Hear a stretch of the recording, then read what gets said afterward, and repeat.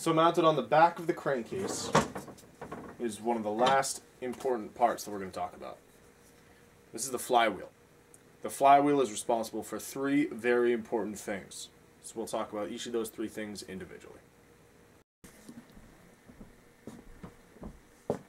Flywheel's job number one cooling. This is an air cooled engine.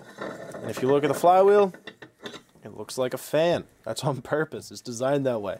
So as it rotates, it's mounted on the opposite side of the crankshaft from the drive shaft. So it's on the crankshaft, rotates with the whole engine. As it rotates, it pushes air across these cooling fins right here and keeps the engine cool. So job number one is cooling.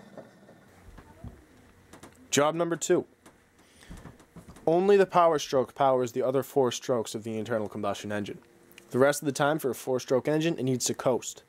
We talked about on the crankshaft, there's added extra weights. This mass keeps it spinning smoothly and well balanced.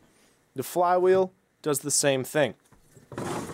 It's mounted directly to the crankshaft on the back, so as the crankshaft rotates, it spins. It's well balanced and it has that extra mass to keep the engine moving for three of those four strokes.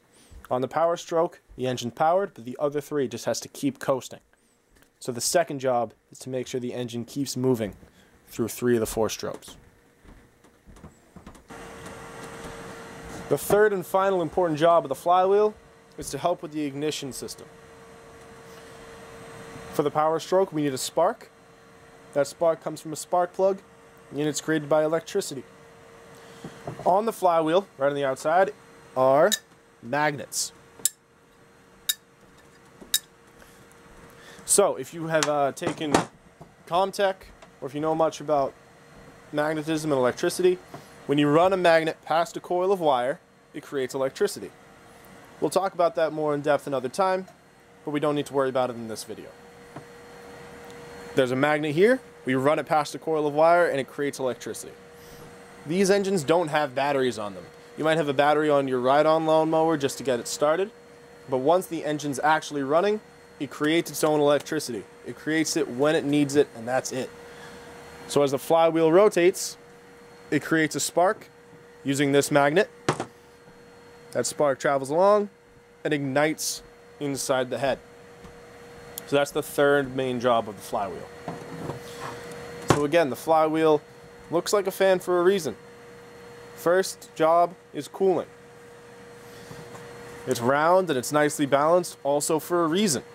The second job is to maintain the movement of the engine to have it coast through three of those four strokes. And finally, ignition.